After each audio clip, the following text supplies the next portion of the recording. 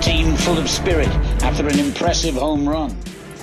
Fun for all the family, kids, dad and mum. With these men at the helm, who knows where we can go? Down at Adams Park, you can be part of the show.